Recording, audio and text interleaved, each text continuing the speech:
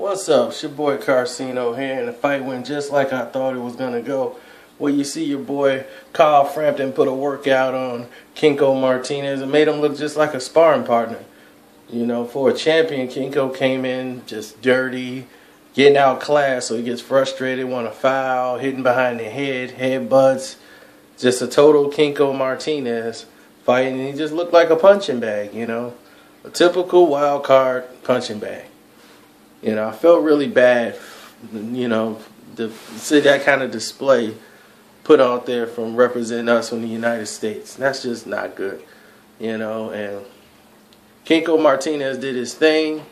I mean, fifth round, he dropped him with a straight one, two, too much movement and angles. I mean, he was able to put a cut on Frampton using his head, but you know, nothing with punches.